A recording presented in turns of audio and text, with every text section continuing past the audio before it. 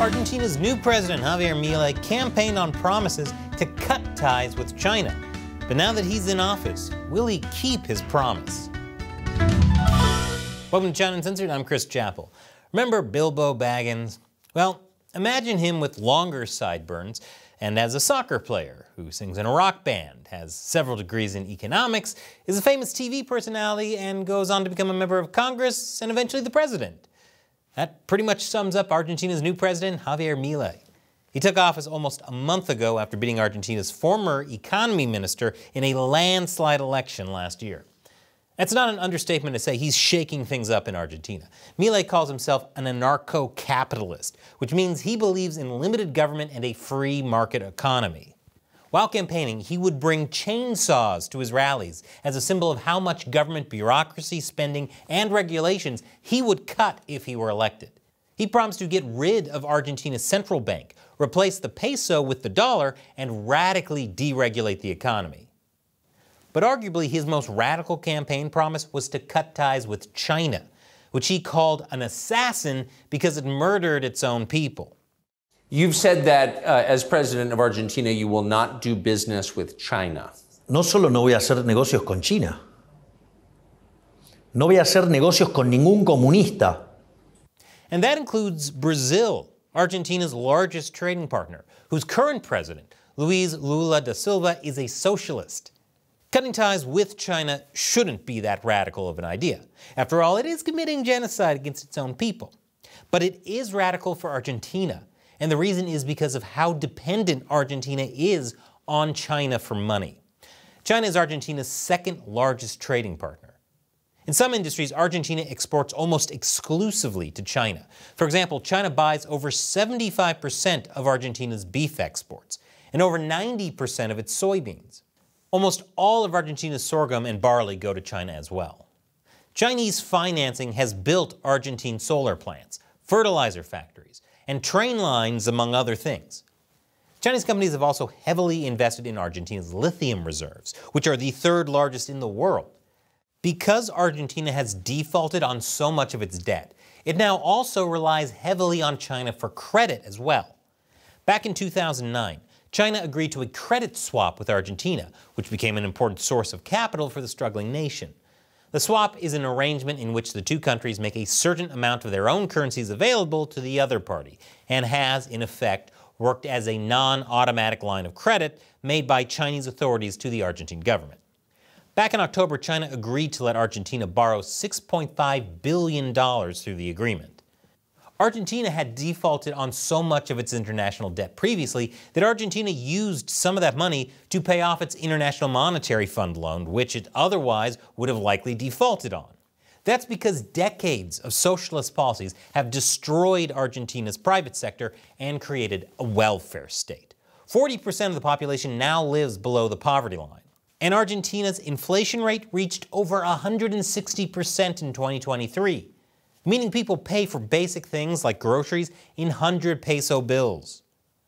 The usual ways that governments raise money to finance their debt just aren't enough, which is why countries like Argentina turn to China. China will loan almost anyone money, but Beijing usually asks for some political favors in return, and it often has geostrategic motives as well, which is how it got Sri Lanka to cough up its Hambantota port in 2017.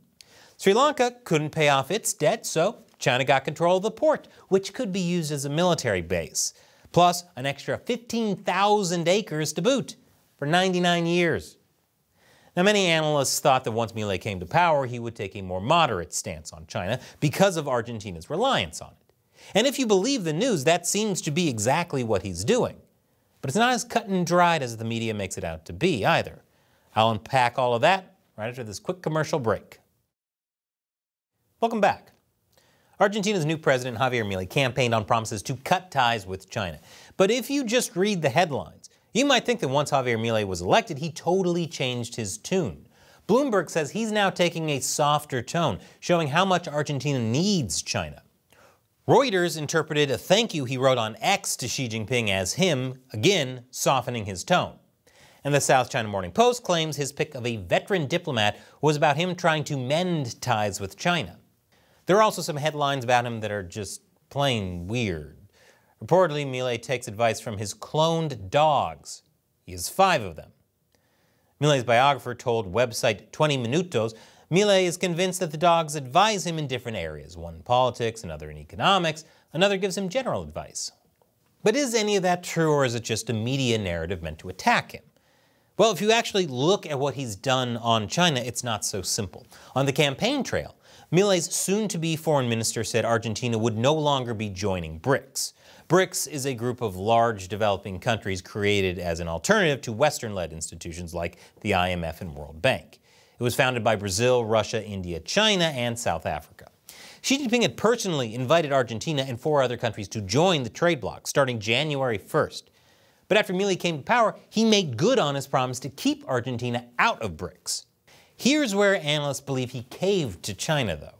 In his letter rejecting the invitation, he framed it as Argentina just not being ready to join BRICS at this time, which sure makes it sound like he's open to joining in the future. Now, whether that was just him trying to sound polite or he really would join at some point, we don't know. But he also said in the letter that he wanted to intensify bilateral ties and increase trade and investment flows with member countries. Now, Milei did promise to cut all ties with communist countries. But here's what he also said. Nosotros desde el Estado no vamos a promover ningún tipo de acción con comunistas, ni socialistas. Eso no quiere decir que los argentinos no puedan comercializar. Si quieren comercializar con China, con Rusia, con, con Brasil, con quien sea, problema de los argentinos. Now that may seem like splitting hairs. To say that the state won't do business with communists, but that the people are free to, sounds like he's trying to find an escape hatch. But there is a difference between a country sanctioning something and just letting the private sector do it. For example, Argentina's federal government joined China's Belt and Road Initiative in 2022. That was a federally approved program that allowed Chinese companies to come into Argentina and build some of its most critical infrastructure. Perhaps Milei will take a cue from Italian Prime Minister Giorgia Meloni and exit the Belt and Road Initiative. Milei may not be able to control what his citizens do, but he can control choices made by the federal government directly to some extent. I'll come back to that. Now, on the other hand, during the campaign, Milei's now foreign minister Diana Mondino said Argentina wouldn't cut ties with China. Instead, she said the government would just review secret state-to-state -state deals to ensure they were all above board. She also said that Argentina wanted to export as much as possible to everyone because Argentina has a lot of debt to pay off and they need a trade surplus to do that. Now, I don't know about you, but lowering a trade deficit sounds a little different than not doing trade with communist countries at all. It is possible, though, that she and Milei are just on different pages. Another reason analysts accuse Milei of becoming soft on China is that he reportedly asked Beijing to unfreeze money from the currency swap agreement. Remember that $6.5 billion China promised to Argentina last fall? Well, after Milei came to power, Beijing reportedly suspended the money. According to Argentinian media, that was until Milei demonstrates a clear intention to engage with Beijing. China hasn't confirmed it froze the money, but it hasn't denied it either, which probably means it did. And since Argentina has been using that money to pay off its IMF loans, I'm sure Beijing thought this would be the perfect blink test. Milei had the first laugh, though, because he was able to make an IMF payment last week without needing that money. He reportedly used a loan from CAF, the Development Bank of Latin America and the Caribbean. Whether he'll be able to get more loans from it in the future, though, remains to be seen, and that could determine who gets the last laugh. Milei also reportedly got Beijing's blessing for his pick for ambassador to China. He chose career diplomat Marcelo Suarez Salvia, who previously served as ambassador to Trinidad and Tobago. Now, this also comes after Milei promised to get rid of what he called the political caste, the group of elites who have run Argentina's economy into the ground. But for this position, Milei needs someone with diplomatic experience, especially experience dealing with China, if he's really going to change their dynamic. What remains to be seen now is how clear-eyed Salvia is on China. There are plenty of diplomats, John Kerry, who should be clear about China by now, but still aren't. But there has been some good news. According to the Argentine website Infobae, Argentina is reportedly purchasing some used American F-16 fighter jets from Denmark. Before Milei's election, Argentina had been in talks to buy new Chinese JF-17 Thunder jets, which the U.S. has warned South American countries against doing for security reasons. So it seems as if Milei is doing what he can do to reduce his country's engagement with China, given his current powers. One thing standing in his way is that he doesn't have control over Congress or the courts.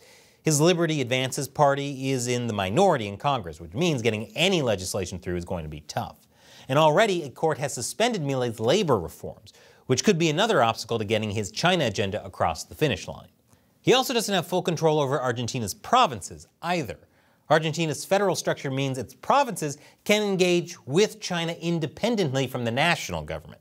That's especially scary because China has been working on building a naval base in Argentina as a gateway to Antarctica. Reports in the French news site Intelligence Online suggest that Argentina based Chinese Communist Party official Shui Ping Tu has already finalized the entire matter with the provincial governor. So Milei's got his work cut out for him. He was elected to fix Argentina's disastrous economy. And if he makes a wrong move with China, it could make things much, much worse. But if he caves to China, Argentina risks becoming China's vassal state, at least more than it already is. He might be playing China's game for now while he has to, but if Argentina gets its economy back on track, Milei might actually make good on his campaign promises. Now, I got a video I'd like to show you, but first, China Uncensored wouldn't exist without fans like you who support us on Patreon. For as little as a dollar per episode, you can get all the cool perks that come with membership and join what I call the China Uncensored 50 Cent Army, the fans who keep the lights on and the show going. And today's question comes from Logan. Will BRICS have an impact on the Quad or world trade? Great question, Logan. I think the CCP would sure like BRICS to compete with the Quad or the World Trade Organization. First, for clarification, the Quad, an informal alliance between the US, India, Japan, and Australia, is really more of a security alliance dealing with intelligence sharing and military training than an economic framework between the four countries. So BRICS is really not an equivalent. The World Trade Organization, as the name suggests, is about the world. It has many member nations. BRICS is mainly Brazil, Russia, India, China, and South Africa, with a few other countries playing smaller roles.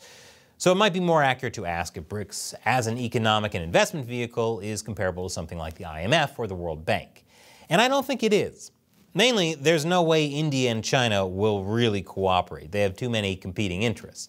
And as the rest of the world grows increasingly suspicious of the CCP, I don't imagine they'll be able to wrangle other countries into win-win mutual cooperation, as Xi Jinping likes to say.